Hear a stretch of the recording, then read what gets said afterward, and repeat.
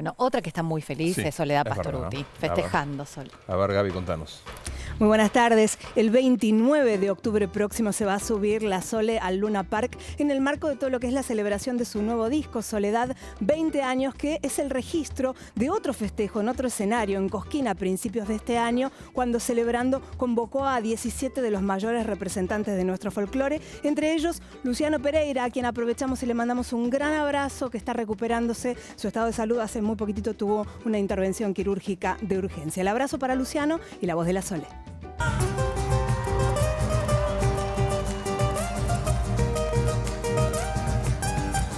Fue una noche en, porque en donde por primera vez yo pude dimensionar mi carrera, ¿no? A través de mis compañeros, de, mis admirados, de, todos esos artistas como Yamila, eh, Marité Verbel, eh, Orlando Veracruz, Julián Ratti, Los Nocheros, Los Manceros, eh, los Cuatro de Córdoba, Rally Barrio Nuevo, Los Tequis, Los Aloncitos. Mira, estaría no sé cuánto, pero el Chaqueño, Luciano, Abel, todos estuvieron ahí.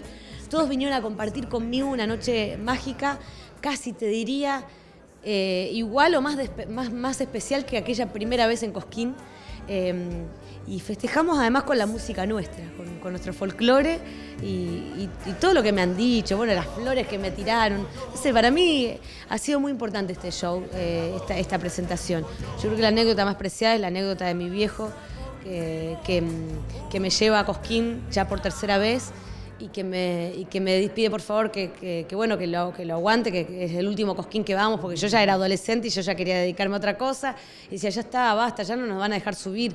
Y él me lleva y tiene que volverse a Arequito porque se había enfermado mi hermana, entonces tiene que volverse. Y en el camino este, mm, eh, siente eh, a través de una radio muy importante de Córdoba que me nombran y que empieza a decir atento Arequito que parece que esta noche este, la nenita claro va, a subir al escenario mayor y dice que él se bajaba del auto porque no tenía buena señal y hacía masa, viste, se agarraba de la antena y hacía masa con el pie des- descalzo en, la banquina y escuchaba la radio. Y eso es una anécdota de, una época que jamás se nos va a borrar, a pesar de que parezca mentira, que parezca que no forma parte de esta trayectoria, porque ahora sabemos que el final es porque sabemos que lo hemos conseguido, que hemos logrado que esto se convierta en, una carrera, en una, en un- en una profesión, eh, en aquel momento eso parecía como imposible.